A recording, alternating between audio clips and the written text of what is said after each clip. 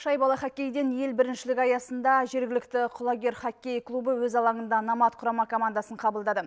Алғашқы ойында жеңіске жеткен солтүстік қазақстандық ұжым қарымта кездесуде есе жіберді.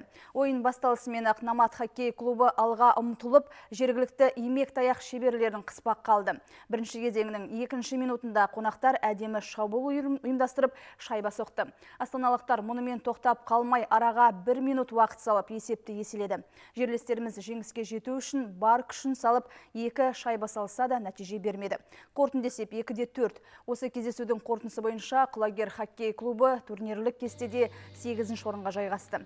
Енді келесі кездесуін солтүстік қазақстандық ұжым өз алаңында Бейбарыс хоккей клубына қарсы өткізеді.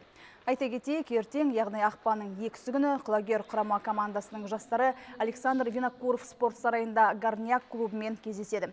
Матч сағат 4-те басталады.